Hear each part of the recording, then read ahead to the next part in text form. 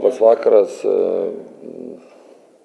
Sunku ką ir pasakyti iš tikrųjų, o, o stengiamės išdalinti laiką, stengiamės imti krūvį nuo mūsų pagrindinių žaidėjų. Tas pavyko.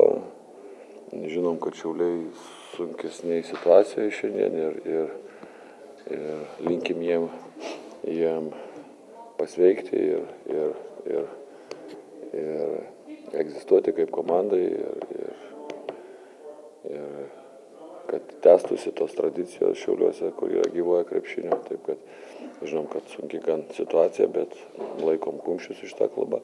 Kas liečia mus, tai noriu pasveikinti komandą, kad, kad šiem susikoncentravę ir, ir, ir, ir neatsipalaidavę. Ir, ir aišku, žaidėm, žaidėm, žaidėm taip, kaip varžovas leido, manau, bet ieškojom formos tiek, tiek naujiem žaidėjim, tiek tiem, kurie mažiau žaidžia. Ir, ir džiaugiuosi, kad dalinamės kamuolį, turim beveik 30 asistų ir, ir, ir tikrai neblogai polime atrodėm komandiškai, taip kad Taip kad norėčiau pagirti savo komandą ir, ir, ir tiek gal. Daug eksperimentų šiandien iš jūsų komandos, daug tokių nestandartinių, netikėtų raketų. Apie tai šiek tiek galbūt kurie nors žaidėjai atsiskleidė kitose pozicijose. Ne, nemanau, manau, kad mes labai, labai įdomiai galim ir ateityje atrodyti su trim mažais gynėjais ir, ir, ir su gailium daleiskime ketvirtoje pozicijoje, tai manau labai išplečia mūsų galimybės polime su Gudaičiu penktoje pozicijoje, kuris yra aktyvus spaudos aikštelėje tiek nugarą, tiek priekiu. Tai, tai daug, daug perspektyvų tame, bet šiai dienai nebuvo akcento to, norėjom tik, kad vienas kitą pajaustų daugiau ir turint naują žaidėją ir tos kaip ir Jucikas, kurie mažiau žaidė, ir, ir Rokas mažiau žaidė su Bilbao, taip kad norėjom kad, kad e, tas minutės gautų, išnaudotų ir, ir, ir pajaustų žaidimą ir žaidimo ritmą. Galbūt apskritai geriausias tas momentas buvo pirmam kėlinį, kai Gailius pasistumė į ketvirto numerio poziciją ir atrodo net keturis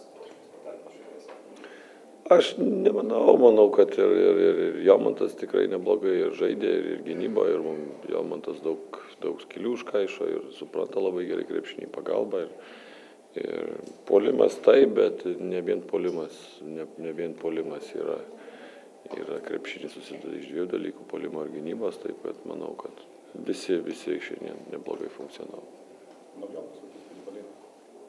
Naujokas palieka labai gerai atakuojančio žaidėjo įspūdį ir, ir tikėkime, turi dar truputį pagerinti, manau, manau gynybo, supratimą taip pačiai komandos E, komandinio braižo ir, ir yra daug dalykų, kuriuos dar galima pagerinti ir aišku sunku spręsti. Dabar, kai, kai žaidžiama tada, tokias rungtynės, bet manau, kad tos tokias netokias rungtynės galima gerai išnaudoti savęs pažinime, komandos pažinime ir, ir savo žaidimo uh, ritmo atradime. Visi trys žaidėjai solidžiai rungtyniavo, galbūt jaučiama tokia sveika konkurencija komandoje, dėl žaidimo, vietos galbūt jaučiama.